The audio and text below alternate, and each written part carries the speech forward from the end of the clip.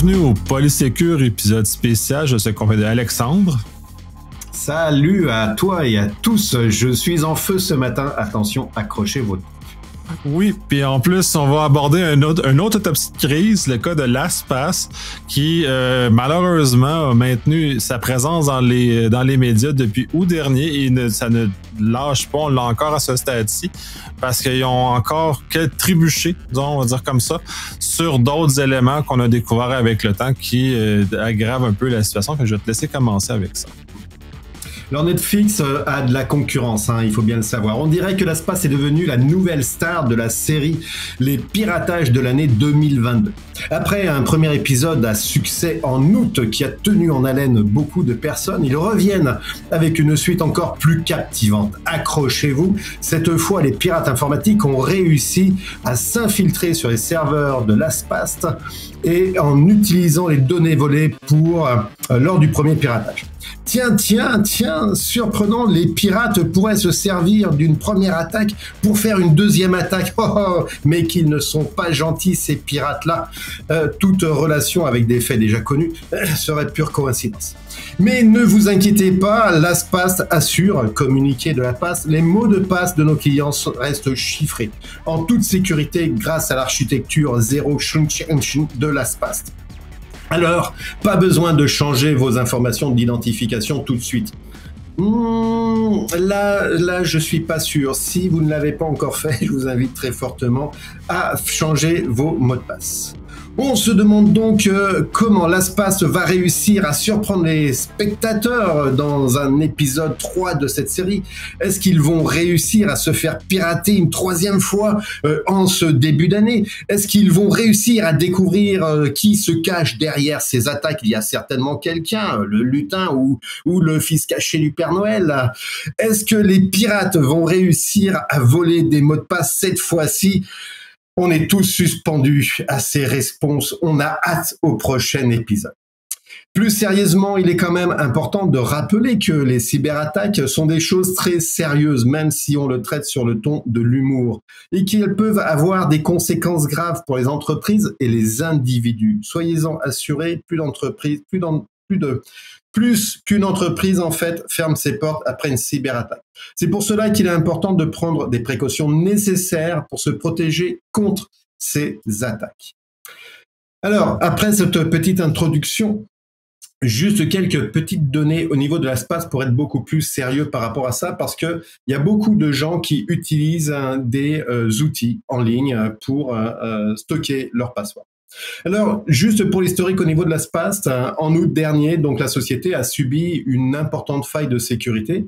Et en fait, euh, il y a un compte qui a été euh, compromis, un compte de créateur de programme qui a été compromis, et puis euh, des individus non autorisés ont accédé justement sur ces privilèges, sur ces droits, et sont allés se promener un petit peu à droite à gauche sur les plateformes de développement. En novembre, un nouveau piratage a visé donc l'espace, et puis l'auteur de la cyberattaque a utilisé les informations qui ont été donc précédemment euh, euh, récupérées à droite à gauche. C'est là où on s'aperçoit qu'une attaque, hein, eh ben, il peut y avoir des effets collatéraux quelques mois après. Donc, euh, ça a posé quelques problèmes par rapport à ça. Donc, le pirate hein, ou les pirates ont pu accéder aux données stockées qui sont des données stockées dans le cloud, dans, dans les environnements en fait de l'espace. Donc, ils ont accédé. Ça, c'est quelque chose d'assez euh, classique. Ensuite de ça, ben, ils ont copié euh, les sauvegardes euh, des données des coffres-forts des clients. Ça, c'est largement moins cool. Hein. Donc, ils sont partis avec carrément l'argent et les coffres hein, qui contenaient tout cet argent-là. Donc, par rapport à ça, quelques informations qui se trouvent là-dedans, ben, il y avait des choses qui sont chiffrées, qui sont cryptées mais il y a des choses qui sont en clair. Et ça, ces choses qui sont en clair, hein, euh, ça peut avoir euh, des conséquences parce qu'il peut y avoir des informations importantes qui sont restées en clair. Donc, du coup, euh, les, pirates sont partis avec tout ça. Donc, très très important, si vous l'avez pas encore fait, changez votre mot de passe parce que on ne sait pas si à un moment ou un autre ils vont pas finir par craquer cette protection, ce chiffrage autour de ce coffre des clients. Et puis, euh, ils indiquent aussi que pour se protéger d'une nouvelle attaque, hein, il, est quand même euh, intéressant euh, que quand tu te fais attaquer, que tu te protèges quand même, c'est quand même bien. Hein. quand tu as une maison et puis que tu te fais voler, généralement, tu, fais en sorte que tu te fasses pas voler une deuxième fois. donc, ils procèdent actuellement à une analyse complète. Hein. et puis, ils vont faire le nécessaire pour pouvoir regarder un petit peu comment, comment protéger tout ça. Ils regardent les signes d'activité qui peuvent être suspects et puis ils vont mettre des solutions technologiques qui vont pouvoir permettre de mieux se protéger. Juste pour information sur, sur qui est l'espace, c'est quand même près de 33 millions de particuliers et plus de 100 000 entreprises euh, qui font confiance à l'espace. Et euh, comme, comme typiquement le New York Times, CNN et euh, Mashable, euh, et bien d'autres à travers la planète, bien évidemment. Donc, pour des points de vue techniques, comment comment euh, faire euh, faire les choses Et là, euh, Nicolas Loïc, hein, je vais te laisser un petit peu intervenir sur ces aspects-là, parce que le clown de service que je suis a passé sa partie, mais les aspects techniques, hein, je pense que tu es beaucoup beaucoup meilleur que Quelque peu. oui, c'est un, un, fiasco assez épouvantable mm. que l'ASPAS a, a, fait. Le 1, puis je, reviens un peu sur ce que tu mentionnes, les communiqués qui ont été faits sont des communiqués de type avocat, donc ils sont pas mm. très euh, parlants pour le, commun des mortels. C'est très difficile de déduire la réalité, ce qui fait, fait que l'espace de communication n'était pas une communication ouverte et franche, c'est une communication défensive. Donc, dès lors, quand on perçoit une communication défensive, on peut se douter que la situation est plus grave que ce qu'ils mm. veulent vraiment nous montrer. ça, c'est un problème. Fait que j'imagine qu'ils savaient déjà que les voûtes étaient volées bien avant qu'ils l'ont annoncé officiellement, mais bon, à un moment donné, on dû, le faire. Le fait que, puis là, ils ont parlé de, de, chiffrement zéro knowledge, puis d'affaires comme ça, puis mm-hmm. tous ces éléments-là qui sont, sont très cute à parler. Puis j'ai fait un autre épisode justement qui parlait de ce volet-là à l'époque où il n'avait que peu d'informations qui avaient été diffusées à ce moment-là sur euh, ce qui était rendu, ce qui était disponible, mais on n'était pas rendu dans, l'état où on est rendu maintenant. Hmm. Au niveau des problèmes inhérents à ça, puis techniques, il y a eu des erreurs de, qui ont été largement analysées par d'autres acteurs, des erreurs de design dans leur solution. Hmm. Qui même si on utilise le fameux chiffrement zéro knowledge qui parle, euh, c'est insuffisant puisque il y a des stratégies de chiffrement qui, avec le temps, parce qu'on sont coûteuses en, opération, fait qu'avec le temps, dans les premières itérations du logiciel, étaient plus faibles parce que les, nos ordinateurs étaient moins puissants, mais n'ont pas suivi assez rapidement la montée en puissance de 1 et n'ont pas été rétroactifs. C'est-à-dire que les voûtes qui ont été créées il y a longtemps ont maintenu un niveau de chiffrement plus faible. Puis il aurait fallu que ça se fasse automatiquement et ça remonte pour euh, rehausser ça les utilisateurs qui ont des vieilles versions ou que ça fait longtemps qu'ils utilisent, il est probable qu'une partie, si c'est pas la totalité des mots de passe dans la voûte, soit dans un chiffrement faible. Et ainsi, c'est très facile à casser. Même si l'espace, selon son architecture, n'a pas le mot de passe pour casser la voûte, le fait que le chiffrement est faible va faciliter le travail de toute façon. Puis plus le, les ordinateurs augmentent en puissance, plus c'est facile de casser ça. Fait déjà là, on a un, certain problème technique qui est très dommage. Fait que là, ça oblige, ça va obliger les gens à changer leur mot de passe sur tous ces sites-là. Le second, le mot de passe de la voûte lui-même, euh, lui aussi peut être problématique parce que si on a un mot de passe faible qui est là ou qui a déjà fuité dans un autre, dans un autre fuite, ben à ce moment-là, on ouvre, cette personne trouve le mot de passe et va être capable d'ouvrir l'ensemble de la voûte au complet. Donc, de voir tout le contenu de ce qu'il y en est. Et il y a tout le volet des, informations non chiffrées, dont les URL, entre autres, qui sont là, puis qui fuitent. Puis, puis tout ça menant au fait qu'il y a des gens qui ont développé, je pense, euh, dans certaines des choses que j'ai écoutées puis j'ai lu, des scripts qui permettent d'interroger l'espace avec justement votre identifiant, puis ils obtiennent toutes les URL, puis ils obtiennent un certain nombre d'informations qui sont, euh, qui sont dans votre propriété normalement, que l'espace ne chiffre pas, ne protège pas. Euh, d'accès. Puis dès là, on est capable de savoir sur quel type de chiffrement qui est utilisé, puis les éléments, des métadonnées, si on veut, des mots de passe qui sont associés à ce genre de choses-là. Fait qu'on est trouvé dans une situation qui, qui met en lumière plusieurs éléments.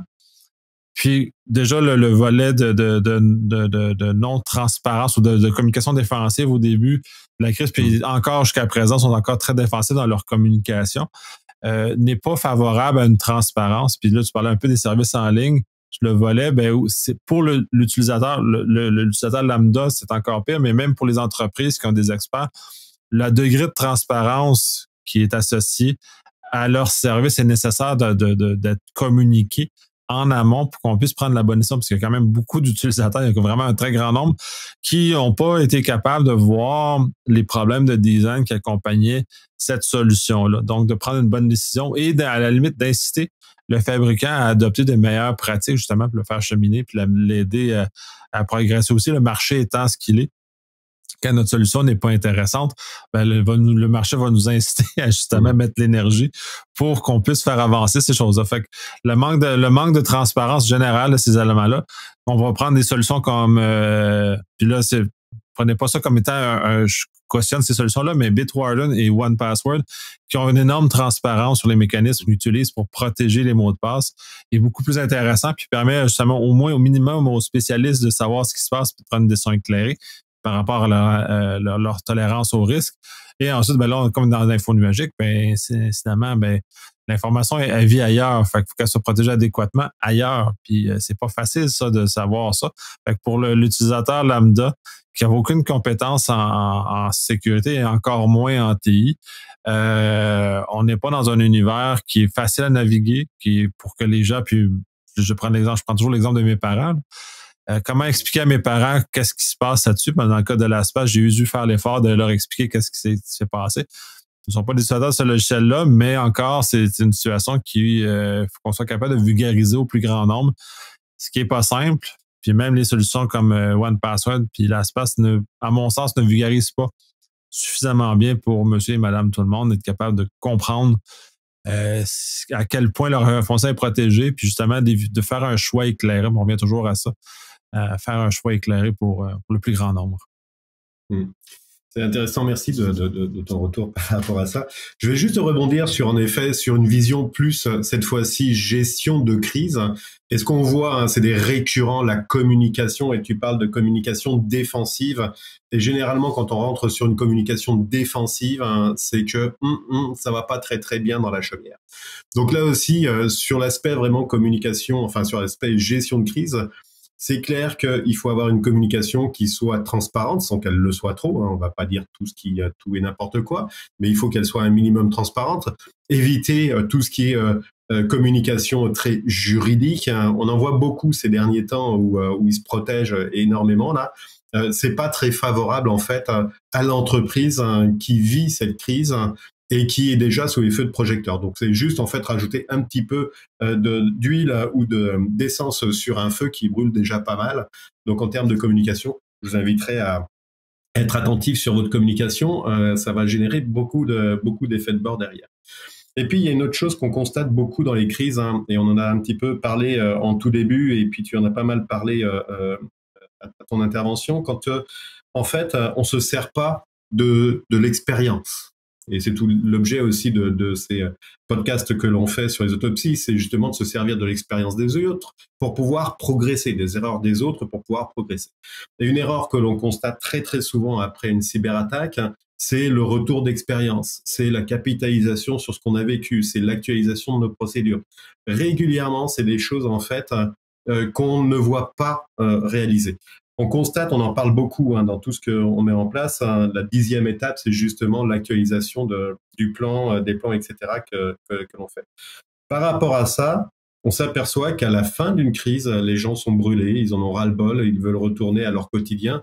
Et leur quotidien, c'est pas d'actualiser les procédures ou de régler les problèmes euh, de bout en bout, mais c'est de faire euh, au mieux avec le temps que l'on a, avec euh, la production, les événements qui reviennent, la vie quotidienne qui reviennent. Et il va falloir intégrer là-dedans le rattrapage des erreurs que l'on a que l'on a vécues, que l'on a vues lors d'une crise.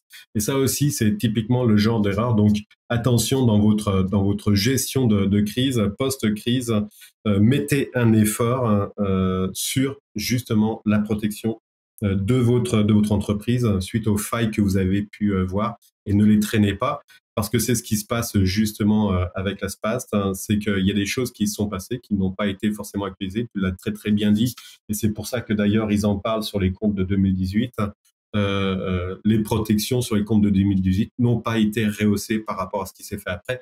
Et c'est bien dommage parce que je pense que ces comptes 2018 vont être pas mal impactés. Et d'ailleurs, il y a déjà des recours collectifs contre l'ASPAST parce qu'il y a des gens qui se sont fait voler leurs données même si elles n'étaient pas chiffrées, n'empêche qu'elles étaient quand même importantes pour eux. Et ils s'appuyaient sur un prestataire de service qui avait la réputation justement d'être là pour protéger ta vie privée. Et ces ballots, ça a été un petit peu raté par rapport à ça. Ouais, ils ont raté leur coup, puis c'est un peu, c'est l'attitude que, que je crois qui, est un peu manquant dans ces dans ces en général dans les dans les processeurs. Vous savez, c'est que d'agir, on va prendre la, vieille expression, ok, c'est c'est pas, pas dans l'air du temps, mais comme bon père de famille, qui est d'être bienveillant, c'est-à-dire que de voir mm. nos utilisateurs et d'être bienveillant face à eux. Donc de voir à ce moment-là, ok, ben on va faire de la rétro on va rétro-forcer les, les, les, le chiffrement pour le, pour le remettre à niveau, justement, pour ne pas avec une situation comme qui est celle-là, de laisser statu quo et de juste avancer comme ça. Ce qui est l'ancienne façon TI, disons, de, de, de progresser les systèmes où on, ne forçait pas énormément les utilisateurs pour, parce que ça crée de la charge, ça va frustrer les utilisateurs, des choses comme ça. Maintenant, je pense qu'on est rendu à un univers, puis euh, l'info nuagique, l'adoption rapide de l'info nuagique par le confinement l'a bien démontré. Euh, Microsoft, entre autres, avait dans Azure et Office 365, a forcé le MFA, par exemple. Mm. Google force le MFA aussi maintenant dans ses services grand public.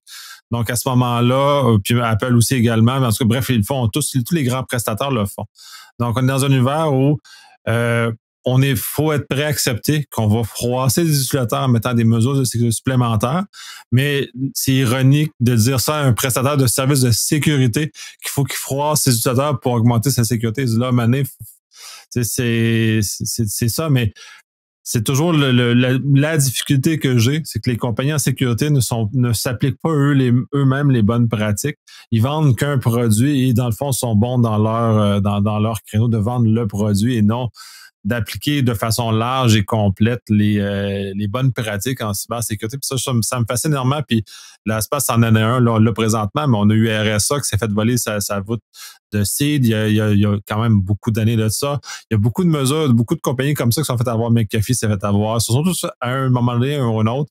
Les compagnies de sécurité s'est fait avoir par des mesures qui normalement auraient dû s'appliquer à eux-mêmes. Fait que ça, je trouve ça un peu, un peu étrange, mais ça, c'est mon, mon côté à moi, mais il devrait ça. Fait c'est de là, de ces compagnies-là, on devrait tout le monde retenir le fait qu'il faut même, on peut pas échapper à ces mesures-là de sécurité.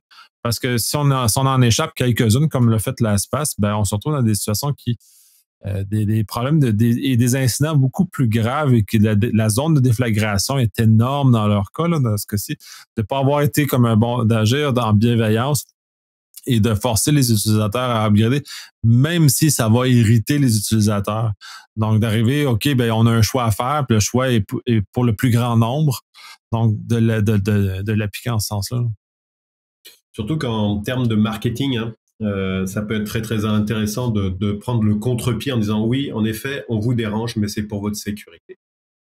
Et ça, on le constate, et tu as donné plusieurs exemples. Hein. Il y a énormément d'entreprises euh, dans le domaine de la cybersécurité qu'on pourrait penser que c'est leur domaine, donc euh, ils devraient savoir, quoi, et qui se font aussi pirater. Donc, cordonnier mal chaussé, c'est une expression que j'aime bien, cordonnier mal chaussé. Donc, ça, ça rejoint un point que souvent je dis là, ne faites nullement confiance à vos fournisseurs. Soyez vos propres, vos propres patrons parce que ils peuvent être défaillants. On a plein d'exemples. On a fait des autopsies sur euh, sur plusieurs entreprises. OVH en est un, d'accord? Donc euh, typiquement là, euh, ayez toujours ceinture et bretelles. C'est pas parce qu'on prend un, prestataire de service ou un fournisseur de service qu'il faut lui fournir toutes les clés de la maison et puis lui faire à 100% confiance. Au contraire, commencez par ne pas lui faire confiance. Ça vous permettra de savoir s'il est vraiment efficace et ça vous obligera à aller creuser son efficacité et puis sa sécurité autour de ça. Ça amène un petit peu Oui, ben, j'allais dire parce que je conseille beaucoup mes clients, surtout dans les derniers temps où la, consommation des services infonuagiques est à la hausse. Euh, puis généralement, on découvre souvent dans, les services qui sont consommés des inefficacités de sécurité, on va dire ça comme ça. Et à ce moment-là, c'est justement de mettre des mesures compensatoires, de développer justement de ne pas faire entièrement confiance, donc d'être capable de compenser les lacunes des, des prestataires parce que eux-mêmes sont pas nécessairement parfaits dans ce là Puis là, on parle à l'extérieur de, la cybersécurité, on parle dans d'autres domaines. Et justement, d'être capable de, maîtriser. Puis c'est la délégation en infonologique n'est pas entière. Cette responsabilité-là nous incombe quand même malgré tout, malheureusement ou heureusement, ça dépend comment on le regarde, justement de, faire ces travaux-là qui vont mettre ça en... Puis, pour moi, c'est pas un bloquant l'adoption de l'infonologique, c'est juste qu'il faut prendre le temps de le faire. Si on le fait pas, bon, on va se ramasser avec un plus gros problème plus tard. Ouais, clairement. Et puis on bascule. Euh, c'est, c'est vraiment une belle opportunité, hein, l'info nuagique. Je fais juste une petite parenthèse sur ça parce qu'on a l'impression peut-être que je tape beaucoup sur l'info nuagique, mais pour moi, je trouve que c'est une belle opportunité, en effet. Par contre, il faut être très, très prudent par rapport à ça. Il faut être conscient, en fait, des avantages, des inconvénients et des risques qui sont autour, euh, autour de ça. Je vais revenir un petit peu sur justement l'espace et puis la, la, la, fiabilité et puis les risques de ces solutions. On l'a vu, hein, euh, clairement là, euh, on peut se faire pirater euh, nos comptes par rapport par rapport à ça. c'est le cas. et tu le disais très justement, si les clients de l'espace qui sont fait voler leurs leurs choses bah, ils avaient déjà un petit peu euh, leur, euh, leur mot de passe qui circulait, bah, c'est fort possible que le mot de passe unique qui leur permettait d'accéder à la voûte, ben lui aussi, euh, il était tellement simple, genre Azerty là, que il pouvait se faire aussi attraper. Ça amène quoi? Ça amène aussi, bien évidemment, des fuites de données par rapport à ça. Et on l'a vu encore, c'est un exemple flagrant. Ils s'emmerdent pas là. Enfin, les, les, les pirates ne s'emmerdent plus sur le fait d'aller juste chiffrer. Non, non ils volent les données carrément, ils partent avec les coffres forts. Donc on le voit par rapport à ça. Euh, et puis euh, la perte de données, la perte de données sur ces outils-là, bah, c'est euh, si tu te rappelles plus de ton mot de passe pour accéder sur ta voûte de mot de passe, hein, es juste un petit peu ennuyé. Hein. et puis marquer son mot de passe sur un post-it et le coller sous son clavier, c'est pas franchement, euh, c'est pas franchement gagnant. Hein. c'est plutôt vintage comme euh, comme technique. Mais ça veut dire quoi? C'est que quand on utilise en fait ces applications, ces, ces outils à distance. Euh, moi, j'ai migré sur ce genre d'outils. Je suis sur One One Password. Eh ben, se pose la question à savoir, ouais, mais c'est pas chez moi euh, mon mot de passe, mon petit post-it qui était collé euh, sous mon clavier dans ma maison euh, fermé à double tour, bah, il était peut-être plus sécuritaire que chez chez un fournisseur externe. Et puis mes fuites de données, il fallait quand même que le gars il vienne sous mon clavier chercher mon password. Pas évident qu'il y arrive. Et la perte de données, bah oui, mon papier il est sous mon password, sous mon clavier, et puis j'ai accès à distance si Internet ne fonctionne pas.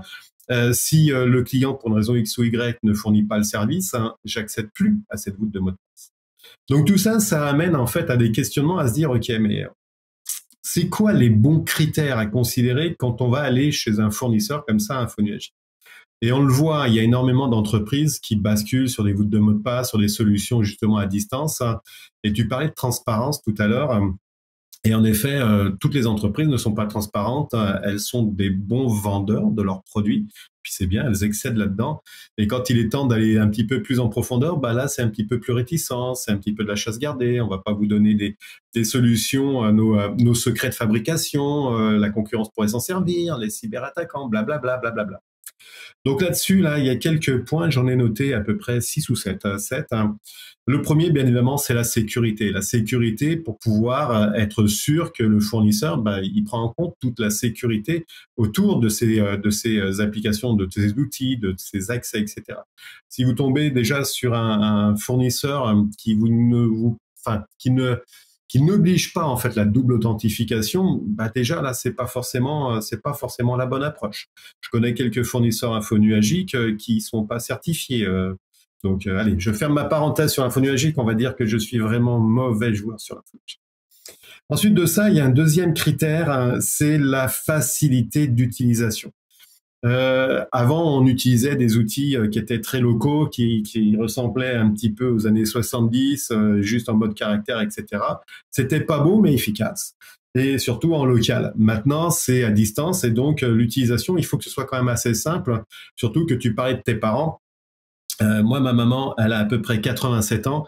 Euh, il faut qu'elle ait un clavier à grosse touche. Hein. donc, euh, imaginez l'utilisation sur un logiciel qui peut être très complexe. Donc, facilité d'utilisation, un deuxième critère hein, qui va permettre de vraiment se faciliter la vie par rapport à ça. Synchronisation des données, ça aussi c'est intéressant qu'il faut voir. Il faut voir cet aspect-là parce que quand on a juste en fait un accès sur Internet hein, euh, pour accéder à ces passwords, bah, ça limite quand même pas mal l'accès.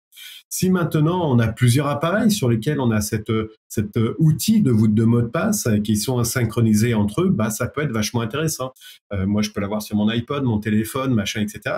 Ce qui fait que ça peut être assez pratique. Ça rejoint un petit peu la, la facilité d'utilisation. Donc, avoir une synchronisation de ces données sur tous ces appareils, ce qui permet que quand tu veux euh, mettre un mot de passe sur ton téléphone, bah, qu'il soit synchronisé sur ton PC et vice-versa. Le support, bah, avoir un support cool et surtout disponible, ça c'est quand même un sacré avantage, surtout quand vous avez plus accès à votre voûte de mot de passe. J'ai eu un petit problème avec un fournisseur où justement ils ont changé leur façon de faire et ils m'ont supprimé ma voûte de password, ce qui fait que j'ai perdu tous mes passwords. Je dirais pas le nom du fournisseur, je continue à travailler avec lui parce qu'il a quand même un bon produit à côté, mais j'ai basculé sur euh, One, euh, One quelque chose pour euh, ma gestion des passwords. Donc un support cool et puis surtout disponible, très intéressant, surtout quand vous êtes mal pris, que vous devez avoir accès à votre password, là, genre tout de suite maintenant. Disponibilité sur votre appareil, sur vos appareils, là encore, ça va rejoindre un petit peu la synchronisation. moi, j'utilise beaucoup mon cellulaire, donc avoir ma voûte de mot de passe sur mon cellulaire pour accéder sur d'autres choses, c'est quand même intéressant. Sachant que j'ai les passwords pas forcément pour des accès sur les systèmes informatiques, mais peut-être pour ma dizaine de coffres forts à six codes, genre, euh, ou pour le code de ma voiture, puisque maintenant il y a des codes pour entrer dans sa voiture. Flexibilité euh, et évolution vers le futur. Hein, euh, tu t'en parlais très très bien tout à l'heure. Hein, flexibilité. ben oui, il va falloir regarder un petit peu. si vous avez une solution maintenant, ça évolue. Donc voir comment est-ce que ça va évoluer. Et puis peut-être que vous êtes une micro entreprise avec genre un seul employé votre patron, c'est-à-dire vous, euh, et que vous espérez fortement évoluer vers euh, une multinationale à plusieurs dizaines de milliers d'employés, bah, regardez un petit peu la flexibilité, ça va vous aider pour votre futur. Et puis, fonctionnalité additionnelle, là aussi, ça peut être intéressant pour votre futur quand vous aurez une entreprise multinationale. Euh, gestion des partages de mots de passe, attention, il faut quand même se, limiter là-dessus. Euh, gestion des utilisateurs euh, et puis la surveillance de la sécurité, très très important. Donc quelques critères qui vous permettraient normalement de pouvoir choisir votre appareil, votre solution. Très intéressant, très pertinent d'ailleurs d'avoir ces critères-là pour nous, pour nous guider dans la, dans, la sélection. Hmm. C'est important parce qu'en effet, il y a beaucoup de, fournisseurs sur place et euh, on le voit hein, pour toi aussi hein, chez, euh, chez tous les clients moi, chez qui je suis passé là, euh, ils veulent toujours avoir une solution de password et puis c'est toujours la croix et la bannière pour euh, des, critères de, des critères à considérer. Maintenant, c'est bien beau d'avoir une solution tip-top avec un support cool et surtout disponible, hein, mais si vous perdez votre password, hmm, ça, c'est des choses qui sont assez gênantes par rapport à ça parce que le post-it sous le papier, là, au pire, vous l'avez marqué dans votre portefeuille, hein, comme ça, vous avez une copie. quand c'est une solution à distance, c'est un peu plus compliqué par rapport à ça. Alors, imaginons vous perdez votre password qui vous permet d'accéder sur la totalité de votre password. Euh, déjà, commencez à prendre votre Kleenex hein, et à vous sécher les yeux.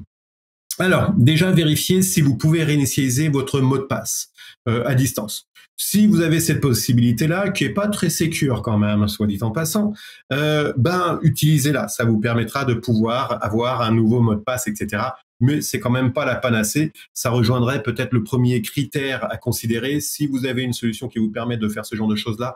Hmm, en termes de sécurité, je suis pas sûr que ce soit un critère qui soit bien euh, répondu. Ensuite de ça, euh, contacter le support. Normalement, contacter le support s'il est cool et puis euh, disponible, il devrait pouvoir vous aider. Et la réponse qu'il va vous donner, normalement, si c'est super sécuritaire, c'est ah, nous n'avons pas accès sur vos mots de passe, nous ne pouvons rien faire. C'est déjà une bonne réponse, mais ça vous solutionne pas votre problème. Vous êtes dans la merde. Euh, troisième point, créer un nouveau compte hein, et puis euh, ajouter à nouveau tous vos comptes à la solution. C'est ce que j'ai été obligé de faire, croyez-moi, c'est long, fastidieux et chiant. Euh, ensuite de ça, récupérer l'accès en utilisant un autre appareil synchronisé. Ah, ça, c'est un truc qui est super cool. donc, avoir une synchronisation, c'est une possibilité qui est intéressante. Donc, si votre appareil synchronisé, vous, ne, Ne lui imposez pas de vous demander votre password d'accès. C'est bien, mais en termes de sécurité, c'est moins bien. Mais ça vous permet quand même de vous sauver par rapport à ça. Ceci dit, je vous inviterai quand même à mettre un password pour pouvoir accéder à votre voûte de password euh, sur votre téléphone. Des fois que vous l'oublierez euh, au restaurant et qu'il soit accessible par quelqu'un parce que vous n'auriez pas à mettre de code PIN, machin, etc. Enfin, zéro sécurité. Ça arrive encore. Euh, et ensuite de ça, conservez une sauvegarde de vos mots de passe ou de votre clé de récupération.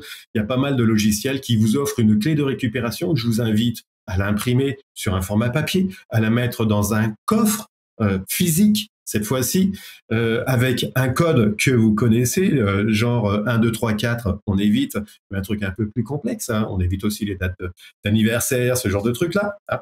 Ou peut-être la date d'anniversaire de votre belle-mère, ça c'est des choses peut-être un peu plus, un peu plus rares à trouver, mais bon, ceci, pourquoi pas.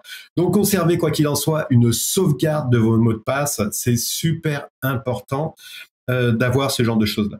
Donc voilà quelques, quelques astuces hein, si vous perdez votre mot de passe. C'est des choses qui arrivent quand même assez souvent.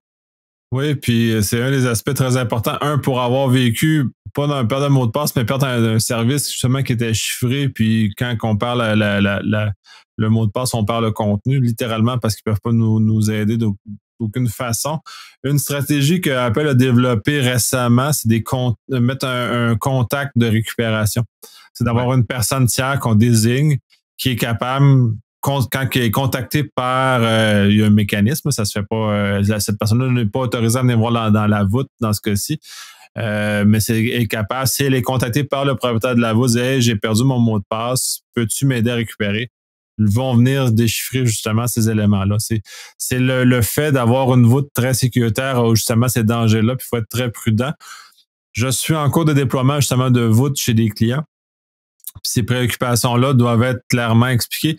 Dans certains cas, j'ai eu quelques ratés de communication parce que j'ai des présomptions qui, de fait que ça fait au moins une dizaine d'années que j'utilise ces dévots de mots de passe, c'est des habitudes qui sont tellement ancrées fortement chez moi que je me rends plus compte que les gens qui pas n'ont pas n'ont pas ça, dont la, clé de récupération qui est nécessaire, qui est cachée, soit ou, une clé physique, là, une YubiKey dans la mesure où les, les, les systèmes le supportent.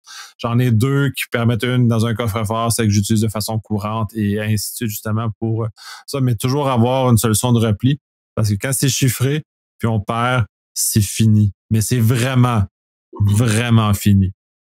Mmh. ouais. Et ça, c'est énorme. Hein. Et, euh, et, sur justement les clés de, chiffrement et de récupération, là, on parle euh, de tout ce qui est voûte de mot de passe. Hein. Euh, mais les clés de chiffrement, là, il y en a sur votre PC, si vous avez chiffré votre PC, sur vos SAN, etc. Enfin, c'est de l'or en barre, les clés de chiffrement. C'est certainement ce qu'il y a de plus précieux après vos enfants. Donc soyez très très attentifs. J'ai certains clients, ah ouais, mais je, je sais plus où est-ce que je l'ai mis ma clé de chiffrement. Ah ouais, c'est ballot. Surtout pour les sauvegardes, c'est très très ballot. Et oui, ça arrive encore dans ce monde en 2023, c'est assez fabuleux. Allez, je vais terminer sur euh, quelques mots de passe euh, les plus utilisés. Moi, j'adore ça. Et puis, on va conclure sur ça. Allez, en haut de la, de la, euh, de la liste, on va trouver l'éternel 1, 2, 3, 4, 5, 6. Pas 7, pas 8, mais on s'arrête à 6 hein, parce que c'est un peu trop long sinon. Mais on a aussi l'indétrônable Password, P-A-S-S-W-O-R-D. Et oui, on l'a exactement dans ce sens-là. On a aussi l'indétrônable QWERTY pour les Européens, euh, QWERTY, pardon, pour les euh, Nord-Américains, AZERTY pour les Européens.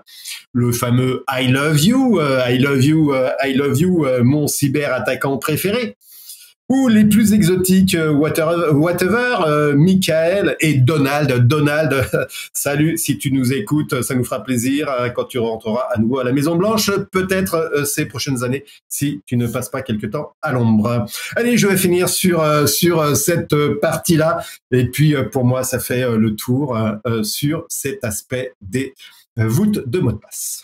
Très intéressant. Effectivement, on conclut là-dessus. Je te remercie énormément de cette analyse-là. C'est très intéressant. J'espère que les gens vont en tirer euh, les leçons nécessaires justement appliquer dans leurs entreprises ou à la maison les, mesures nécessaires pour ne pas se retrouver dans les médias comme, euh, comme le fait la.